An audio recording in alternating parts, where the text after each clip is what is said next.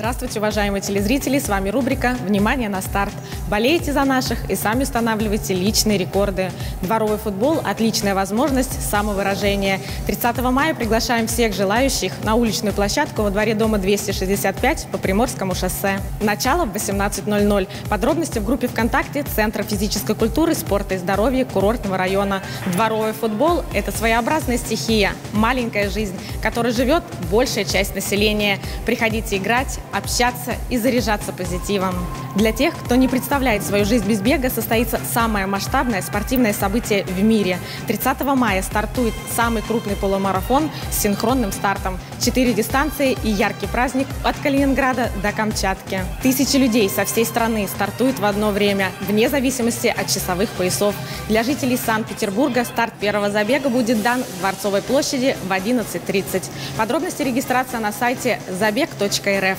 85 городов, 11 часовых поясов и один старт для нескольких тысяч любителей спорта. Это больше, чем забег. Это мировой рекорд. 29 мая состоится турнир по пляжному футболу среди мужских любительских команд в формате 5 на 5. Продемонстрировать свою технику владения мячом на песке смогут все желающие мужчины от 14 лет включительно. Начало в 11.00. Место проведения – город Сестрорецк, территория комплекса плоскостных спортивных сооружений «Северный». Подробности в группе ВКонтакте Центра физической культуры, спорта и здоровья курортного района.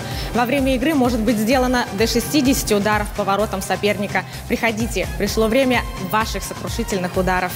29 мая приглашаем всех желающих от 6 до 70 лет сдать нормы Всероссийского физкультурно-спортивного комплекса на весеннем фестивале ГТО.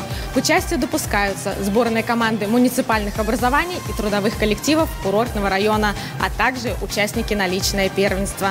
Начало в 11.00, место проведения – город Сестрорецк, территория комплекса плоскостных спортивных сооружений «Северный». Подробности в группе ВКонтакте Центра физической культуры, спорта и здоровья курортного района. Все результаты будут занесены в личные кабинеты участников для присвоения знака отличия «Готов к труду и обороне». Приходите, золотой значок ждет именно вас. И помните, день, проведенный с пользой для здоровья, подарит вам неделю отличного настроения. С вами была Екатерина Иванова. До встречи через неделю.